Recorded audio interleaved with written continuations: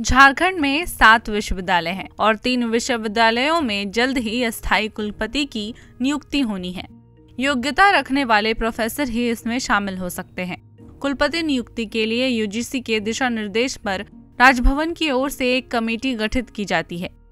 Committee अहर्ता रखने वाले योग्य उम्मीदवारों को सर्च करती है और आवेदन मांगती है। आवेदनों के स्क्रूटनी कर नाम से संबंधित अभ्यर्थी का पूरा विवरण राजभवन को दिया जाता है। उसके बाद कुलाधिपति राज्य सरकार से विचार विमर्श कर अंतिम मुहर लगाते हैं।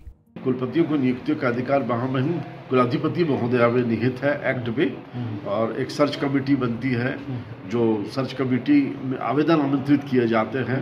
जितने भी आवेदन आते हैं ये खुला आवेदन होता है। पूरे भारतवर्ष के लोग इसमें आवेदन करते हैं और वो सर्च कमेटी को दिया जाता है। सर्च कमेटी चयन करके बाकायदा नामों को महामहिम कुलाधिपति महोदया के समक्ष स्थापित करते हैं उपस्थित कराते हैं। और फिर कुलाधिपति महोदया के द्वारा नियमानुसार बाकायदा कुलपति प्रति कुलपतियों की नियुक्ति की जाती है। यूजीसी ने कुलपतियों की नियुक्ति के लिए सर्च कमेटी का गठन किया है और सर्च कमेटी के माध्यम से योग्य उम्मीदवारों की खोज की जाती है विज्ञापन होता है लोग आवेदन करते हैं और सर्च कमेटी उसका चयन करके तब नियुक्त करती है। हालाँकि झारखंड में कुलपतियों की नियुक्ति में हमेशा पारदर्शिता बरतने का दावा किया जाता है, लेकिन यहाँ कुलपतियों की नियुक्ति हमेशा विवादों में रही है। कुलपति नियुक्ति के लिए सर्च कमेटी और पूरे प्रक्रिया पर कई बार सवाल खड़े किए गए हैं। शिक्षाविदों ने सर्च कमेटी में बनाए गए मेंबर की योग्यता पर ही सवाल खड़े किए हैं। उनका मानना है कि सर्च कमेटी के सदस्यों की योग्यता कुलपति से अधिक होनी चाहिए, तभी पारदर्शिता संभव है। उन्होंने राजभवन पर कई बार मनमानी करने का आरोप लगाया है। वहीं शिक्षाविद ने कुलपति नियुक्ति में राजनीतिक पार्टियों के भी हावी होने का आरोप लगाया है। बिल्कुल, इसमें सच्चाई है। ऐसा बिहार में भी, झारखंड में भी हुआ है।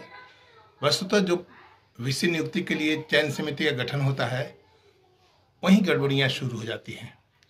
होना यह चाहिए कि जो कुलपति की नियुक्ति के लिए योग्यता है उससे ज़्यादा योग्य काबिल लोग चयन समिति में होने चाहिए। अभी तक जितनी नियुक्तियाँ होती रही हैं, बिहार, झारखंड सब जगह हमने देखा है, इवन इलाहाबाद वगैरह में भी, सब जगह दलगत आधार पर नियुक्तियाँ होती हैं। जिस दल की सरकार राज्य में है, उस दल का नुमाइंदा जिसने पैरवी की वो होता है।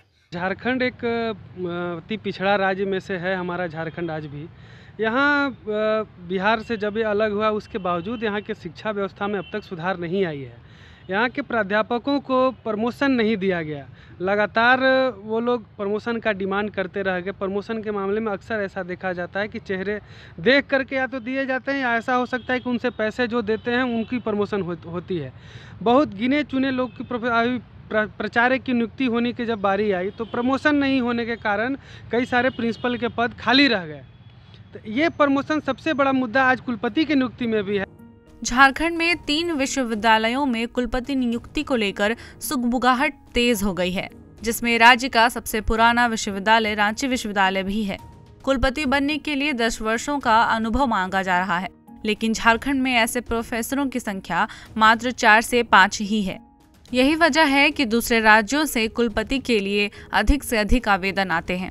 विश्वविद्यालय में जो वीसी की नियुक्ति है वो राज्यपाल महोदय के द्वारा एक कमेटी बनाई जाती है, सर्च कमेटी, और फिर उसका वैकेंसी कुलपति, कुलाधिपति के यहाँ से निकलता है। जो भी प्रोफेसर होते हैं, जिनका प्रोफेसर का तीन दस वर्ष होता है, वो भरते हैं, और वो फिर जो सर्च कमेटी है, वो नाम का रिकमेंड करती है, उसके आधार पर कुलाधिपति महोदय निर्णय लेती हैं। झारखंड में अभी गिने चुने सात या आठ प्रोफेसर होंगे, क्योंकि यहाँ पर नियुक्ति और प्रोन्नति दोनों का कार्य लगभग नहीं के बराबर हो रहा है। नियुक्ति और प्रोन्नति सारे कार्य जेपीएससी को दिए गए हैं हाँ लेकिन जेपीएससी और यूनिवर्सिटी के बीच तालमेल नहीं रहने के वजह से प्रोन्नति वर्षों वर्षों तक प्रोन्नति शिक्षकों की नहीं हो रही।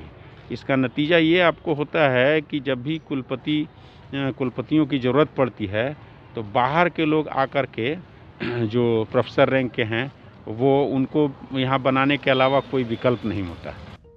झारखंड के सात विश्वविद्यालयों को अस्थायी कुलपति की ज़रूरत है। इसके लिए प्रक्रिया भी शुरू हो गई है। लेकिन अब देखना यह है कि इस बार भी कुलपति की नियुक्ति पारदर्शिता से होगी या फिर यह फिर से विवादों में रहने वाला है। चंदन भट्टाचार्य ईटीवी भारत, रांची।